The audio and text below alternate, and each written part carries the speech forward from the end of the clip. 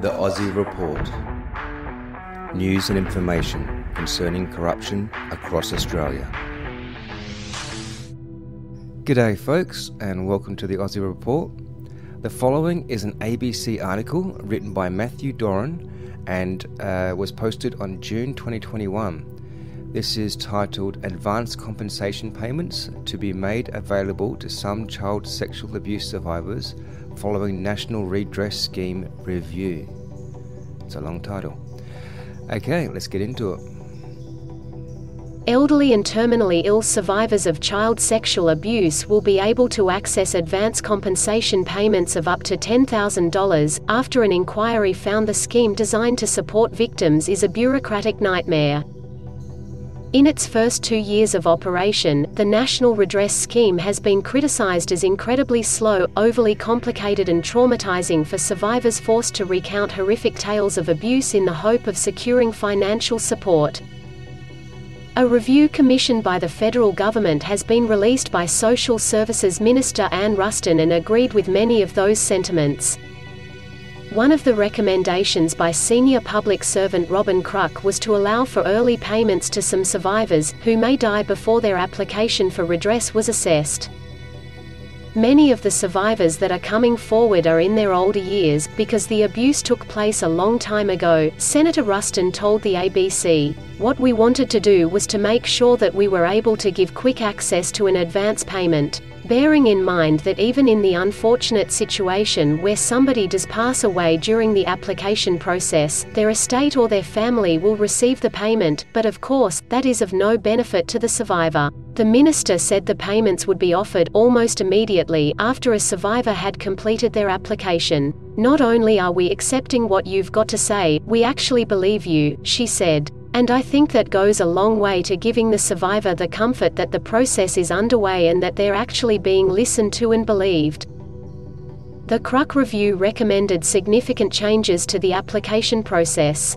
Survivors stated that the application form is too complex for a population that may have literacy difficulties, there is not enough guidance on the level of detail required in the application form, the process is currently traumatizing, and the scheme does not engage with survivors sufficiently, particularly regarding the progress of an application, Ms. Kruk wrote. Senator Ruston said extra counseling services would be offered as part of those reforms. But making sure that you've got properly trained, appropriate, trauma-informed services that are available to applicants when they go through the process is the most important thing.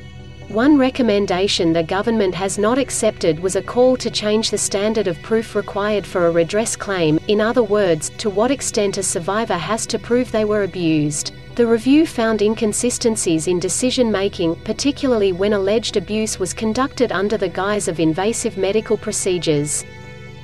Establishing the scheme was a recommendation of the Royal Commission into Institutional Responses to Child Sex Abuse, which estimated 60,000 people would be eligible for compensation across the country. We've had nearly 11,000 applications come forward to date, of which over 6,500 have been finalized and over half a billion dollars has been paid out to survivors, Senator Ruston said. We're obviously increasing the rate and the speed with which applications are being processed, and also we're seeing an increase in the number of people that are coming forward now, as they see the scheme maturing. In completing her review, Ms. Kruk argued reforms should be considered as a matter of urgency. The window for making meaningful changes to the scheme is now extremely limited, Ms. Kruk wrote. Senator Ruston said the government was taking immediate action on 25 of the 38 recommendations, with any required legislation to be introduced to Parliament after the winter break.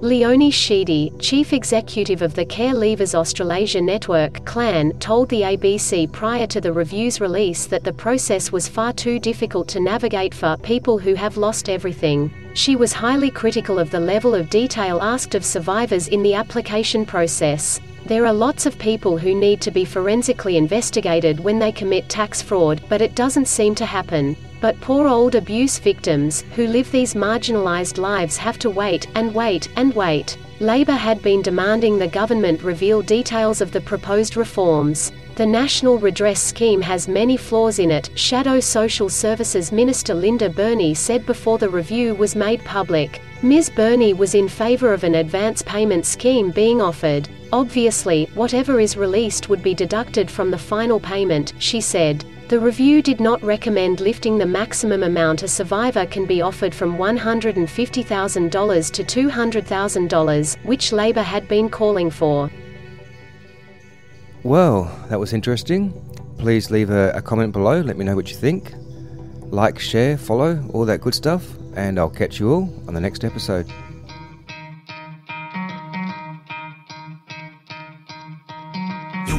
To play but you're never gonna beat me. Look the other way, what I'm doing ain't easy. Bloody hands stained from the people who deceive me. Muddy hands break through the chains, go free me.